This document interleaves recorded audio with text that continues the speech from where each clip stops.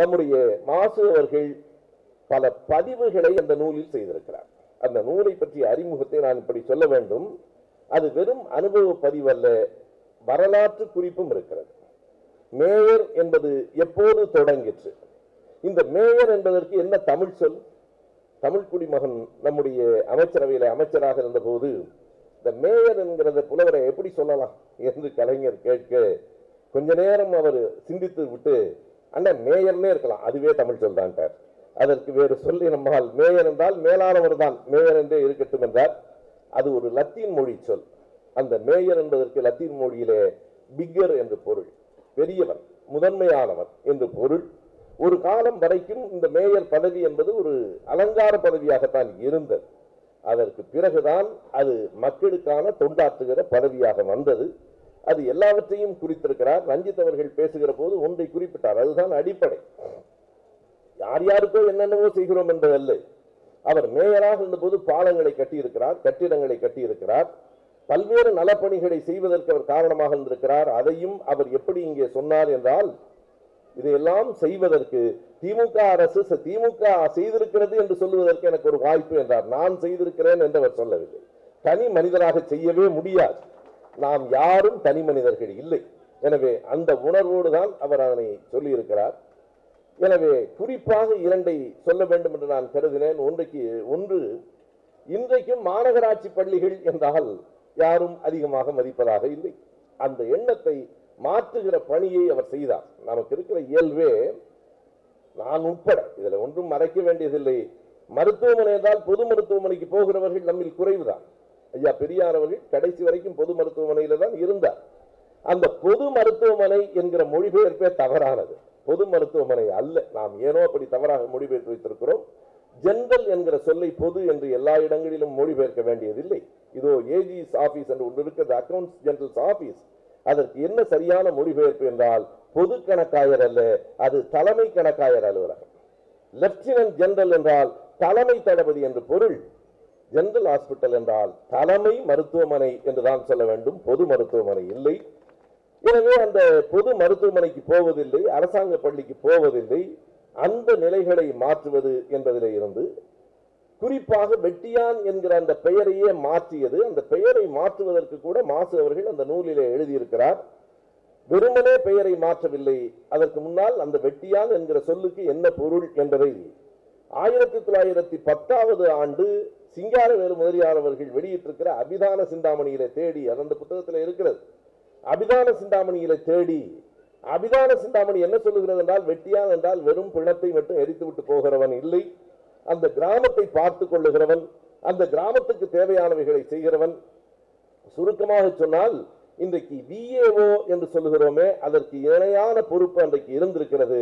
காலப்போக்கில் சாதியின் அடிப்படையில் அந்த மக்கள் இழிவுபடுத்தப்பட்டிருக்கிறார்கள் என்று சொல்லி அந்த பெயரையே மயான உதவியாளர்கள் என்று மாற்றியது மாசுவினுடைய மேயராக இந்த காலத்திலே தான் என்பதுதான் சமூக நீதியில் நமக்கு பெருமை தருகிற செய்தி. அது மட்டுமில்லை. வே- வெறுமன பேரை மட்டும் மாத்திட்டா போதுமா? ஒரு படத்துல ஒரு திரைப்படத்தில் நகைச்சுவையாக கேட்பார்கள் அந்த நாய் செத்து போச்சு அதுக்கு தமிழ்னு பேர் வச்சா நீ பேர் வச்ச சோறு வச்சியான்னு கேட்பான். பேர் மட்டும் வச்சா நாய் உயிரோட இருக்காது சோறு வச்சியான்னு. மயான உதவியாளர்கள் என்று பெயரை மாற்றியது மட்டும் இல்லை அவர்களுக்கான பணியை நிரந்தரப்படுத்தியதும் அவர்களை அரசு ஊழியர்களாக ஆக்கியது. நீங்க அந்த ஒரு வேலையை அரசு ஊழியர்களாக ஆக்குகிற போதுதான் அந்த வேலைக்கென்று ஒரு தனித்துவம் வருகிறது ஒரு மரியாதை வருகிறது. இப்படியெல்லாம் செய்த அந்த செயல்களை மிக அடக்கமாக அவர் அங்கே பதிவு செய்திருக்கிறார். இன்னமும் சொன்னால் இது இவருடைய அனுபவம் மட்டுமல்ல தளபதி அவர்கள் ஆறாண்டு காலம் சென்னையில மேயராக இருந்தபோது அவர் ஆற்றிய பணிகள் பலவற்றையும் கூட இந்த நூலிலே அவர் பதிவு செய்திருக்கிறார். எனக்கு நினைவிருக்கிறது நான் ஏழு எட்டு வயது பையனாக இருக்கிற போது காரைக்குடியில் அது என்ன என்றே தெரியாது. மேயர் என்றால் என்ன என்று அந்த வயதில் எனக்கு தெரியாது. ஆயிரத்தி தொள்ளாயிரத்தி ஐம்பத்தி ஒன்பது அப்போது எங்கள் வீட்டிலே ஒரே மகிழ்ச்சி. காரணம் உங்களில் பலருக்கும் தெரிந்திருக்கும் என்னுடைய தந்தையார் அவர்கள். காரைக்குடி ராமசுப்பையா ஆயிரத்தி தொள்ளாயிரத்தி முப்பதாவது ஆண்டிலிருந்து தந்தை பெரியார் என்னுடைய தொண்டராக இருந்தவர். ஆயிரத்தி தொள்ளாயிரத்தி நாற்பத்தி ஒன்பதில் திமுக கழகம் தொடங்கப்பட்ட போது முதல் பொதுக்குழுவில் உறுப்பினராக இருந்தவர். எனவே எங்கள் வீடே சுயமரியாதை இயக்க வீடு எங்கள் வீடு குடும்பமே திமுக கழகம் சார்ந்தது. எனவே அப்பா மகிழ்ச்சியாக இருந்தார். அதை பார்த்து நாங்களெல்லாம் மகிழ்ச்சியாக இருந்து ஆப்போ அரசு மேயராகிவிட்டார் எனக்கு இன்னமும் அந்த பெயர் நினைவிருக்கிறது. ஆப்போ அரசு தான் நம்முடைய திமுக கழகத்தின் சார்பில் முதன் முதலாக மேயரானவர் ஆயிரத்தி தொள்ளாயிரத்தி ஐம்பத்தி ஒன்பது. ஆப்போ அரசு மேயராகிவிட்டார் என்று நாங்கள் எல்லாம் அந்த ஆறு ஏழு வயது பையன்கள் எல்லாம் முட்டாய் கொடுத்து மகிழ்ந்த அந்த நிலையை நான் நினைத்து பார்க்கிறேன். அன்றைக்கு தான் முதன் முதலாக அறிஞர் அண்ணா அவர்களே வேண்டாம் என்று சொன்னார். நீங்கள் நூறு இடங்கள் அன்றைக்கு இன்றைக்கு இருநூறு வார்டுகள் இருக்கின்றன மாநகராட்சியில அன்றைக்கு நூறு தான். அந்த நூறு இடங்களில் இருபது அல்லது முப்பது இடங்களில் போட்டியிடலாம் என்றுதான் அண்ணா சொன்னார். கலைஞர் அவர்கள் தான் இல்லை தொண்ணூறு இடங்களில் போட்டியிடலாம் என்று சொல்லி தொண்ணூறு இடங்களில் போட்டியிட்டு எவ்வளவு இடம் நாம் வெற்றி பெற முடியும் என்று நினைக்கிறாய் என்று அண்ணா கேட்டார். நாற்பது இடத்துக்கு குறைவாது என்று கலைஞர் சொன்னார். நாற்பது இடத்துக்கு குறையாமல் வெற்றி பெற்றால் உனக்கு ஒரு கனவாடியை நான் தருகிறேன் என்றார்.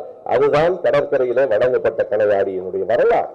இவை எல்லாவற்றையும் அவர் பதிவு செய்திருக்கிறார். வெறுமனே அவருடைய பதவி அவர் இருந்த காலம் அவர் செய்தவைகள் என்று தன்னோடு சுருக்கிக் கொள்ளாமல் எவன் ஒருவன் வரலாற்றை தன்னோடு சுருக்கிக் கொள்ளுகிறானோ அவன் வளர்வதில்லை.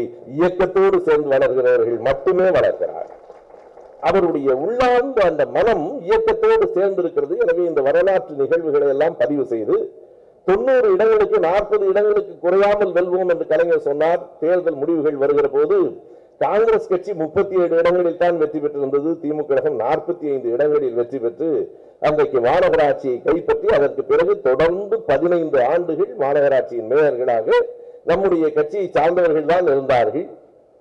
அப்போது நம்முடைய தளபதியினுடைய உயிரை காப்பதற்காக அடி வாங்கி இறந்து போன சிட்டிபாபு அந்த மேயர்களிலே ஒருவர். இன்றைக்கும் நம்மோடு வாழ்ந்து கொண்டிருக்கிற அண்ணன் சாகணேசன் அவர்கள் ஆயிரத்தி தொள்ளாயிரத்தி எழுபதுல மேயர்.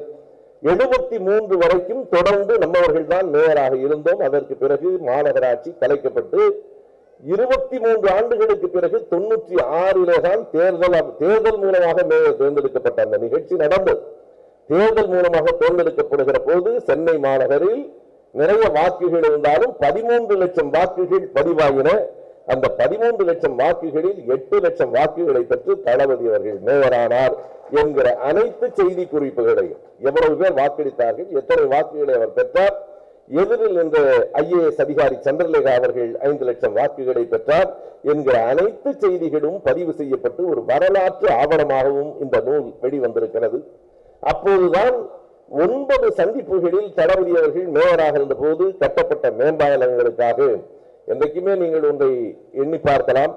ஒரு திட்டம் தொடங்குகிற போது திட்ட மதிப்பீடு என்று ஒரு தொகையை குறிப்பார்கள். பெரும்பாலும் அந்த தொகையை தாண்டித்தான் போய் நிற்கும். தளபதி அவர்கள் திட்ட மதிப்பீடு தொண்ணூறு கோடி ரூபாய். ஆனால் அறுபத்தி நான்கு கோடி ரூபாயிலேயே அது முடிந்து போய் மீதம் முப்பது கோடி ரூபாயை மறுபடியும் மாநகராட்சிக்கு திருப்பி கொடுத்த செய்தியை பதிவு செய்கிறார். சென்னையில் இருக்கிற இருநூற்றி முப்பத்தி எட்டு பள்ளிகளிலும் நானூத்தி எண்பது பூங்காக்களிலும் வாயிலில் வள்ளுவம் என்று அத்தனை பள்ளிகளின் வாசல்களிலும் அத்தனை பூங்காக்களின் வாசல்களிலும் திருக்குறளை எழுதி வைக்கிற அந்த நிலையை கொண்டு வந்தவரும் வரும் அவர்கள் தான் சொல்லுவதற்கு ஏராளமான செய்திகள் ஐந்து ஆண்டுகளில் ஆற்றி இருக்கிற பணிகள் இவ்வளவா என்று நம்மை எண்ணி பார்க்க வைக்கிற மலைக்க வைக்கிற அத்தனை செயல்களை அவர் செய்திருக்கிறார் என்றால் அது அவருக்கான பெருமை மட்டுமல்ல அது இயக்கத்துக்கான பெருமை வாக்களித்தவர்களுக்கான பெருமை. உண்மையாக ஒன்றை நாம் கனவில் நினைவில் வைத்துக் கொள்ள வேண்டும். ஒருவர் தவறு செய்கிறார் என்றால் அது தனிப்பட்ட மனிதரின் தவறு. ஒரு சட்டமன்ற உறுப்பினர் இழிவாக நடந்து கொள்கிறார் என்றால் அது அந்த சட்டமன்ற தொகுதியில் இருக்கிற மக்களுக்கெல்லாம் இழிவு. சில வேளைகளில் முதலமைச்சர்களே அப்படி நடந்து கொண்டால் அது நாட்டுக்கே இழிவு. எனவே மேயராக இருந்த நம்முடைய மாசு அவர்கள் செய்திருக்கிற பணிகளெல்லாம் நாட்டு மக்களுக்கு பெருமையை கொண்டு வந்து சேர்த்தவை கட்சிக்கு பெருமையை கொண்டு வந்து சேர்த்தவை. அவை அனைத்தையும் பதிவு செய்திருக்கிற என்றைக்கும் பதிவு செய்யாமல் போய்விடுகிற குணம் நமக்கு உண்டு. அதையும் நான் முதலிலேயே குறிப்பிட்டேன். சொற்களிலே என்ன இருக்கிறது என்று நினைக்க கூடாது. சொற்களிலே தான் எல்லாம் இருக்கிறது. பதவியா பொறுப்பா என்பது வேறு. வேடிக்கையாக இன்றைக்கும் நாம் சொல்லுகிறோம். கொடுக்கப்படுவது அன்பளிப்பா லஞ்சமா என்பதிலே தான் ஆயிரம் வேறுபாடுகள் இருக்கின்றன. லஞ்சம் என்றும் சொல்லலாம் அன்பளிப்பு என்றும் சொல்லலாம். கவிஞர் மா ஐசா ஜெயபாலன் ஒரு கவிதை எழுதுவார். நம்முடைய ரஞ்சித் அவர்கள் எழுது இயக்கிய அந்த மெட்ராஸ் படத்தில் நடித்த பெரிய மீசைக்காரர் நம்முடைய நக்கீரன் கோபாலை விட பெரிய மீசை. அந்த வாயிச ஜெயபாலன் தான் ஒரு கவிதையில் எழுதுவார். உனக்கு என்னடா வயது என்று காதலி கேட்பாள்.